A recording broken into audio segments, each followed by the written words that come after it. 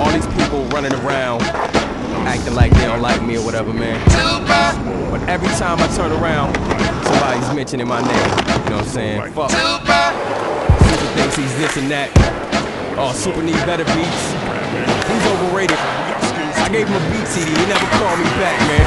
Superstition. Now when the kid drop an album in the streets, it will erupt. Have you motherfuckers about to blow the speakers in your truck? Turn it up, Mr. Boombox is back in action. Will I live up to the hype is what cats been asking. So this time around, I stepped it up in both areas. Plus the fact that I keep getting better is scaring you. You don't wanna believe you can front play dumb until my record sell quicker than dunks and A1s. I'm super, past, present, future. I'm smoother than an overweight Luther in the booth. The truth, cuz I got a swagger that's some consider arrogant, but to me it's confident, the weight of the world in one hand and balance it. I refuse to lose, I accept all challenges. You counterfeit talentless, chucked it all team up in one studio booth in unison and scream fuck super.